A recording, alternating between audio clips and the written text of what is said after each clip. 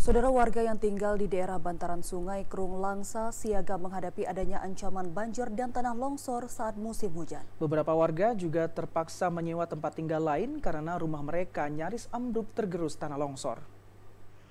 Sedikitnya ada tiga rumah warga yang berada di bantaran sungai Krung Langsa terancam amblas ke sungai akibat longsor. Saat ini pemilik rumah telah mengungsi ke tempat yang lebih aman karena khawatir rumah mereka roboh ke sungai. Salah seorang warga menyebutkan longsor terjadi akibat tergerus arus sungai saat banjir yang melanda beberapa waktu lalu.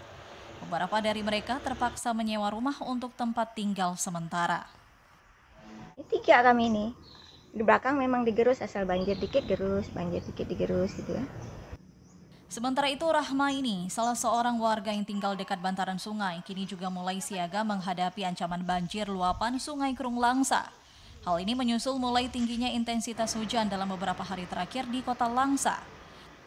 Rumah mereka kerap menjadi langganan banjir pada saat musim hujan. Kalau misalnya anu tuh apa tuh banjir di sungai agak deras, agak butek itu baru kami takut. Udah mulai khawatir. Ah, ya. khawatir kenapa di pinggir sungai? Berarti hujan gunung tuh ya? Iya, hujan gunung. Kenapa?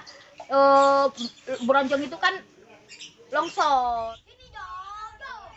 Warga berharap ada solusi dari pemerintah untuk mencegah banjir, seperti membangun bronjong di tepi sungai, sehingga air tidak meluap ke pemukiman warga. Tim Liputan TVRI Aceh melaporkan.